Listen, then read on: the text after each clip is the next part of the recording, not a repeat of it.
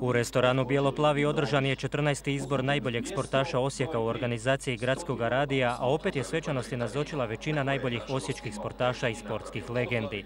Prvi izbor 1997. godine pripao je nogometašu Petru Krpanu, a najviše titula osvojio je Robert Selingman, čak četiri.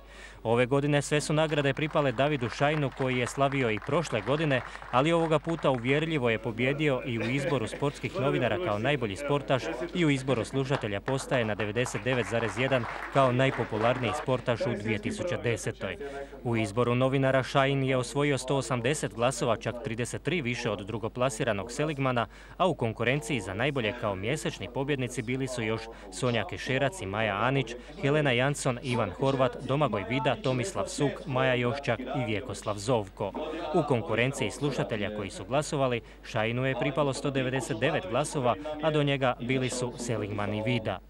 Naš vrhunski veslač kojeg su pozdravili gradonačelnik Bubalo i župan Šišljagić istaknuo je kako nove još bolje uspjehe očekuje u ovoj godini prije svega plasman na olimpijske igre u London 2012.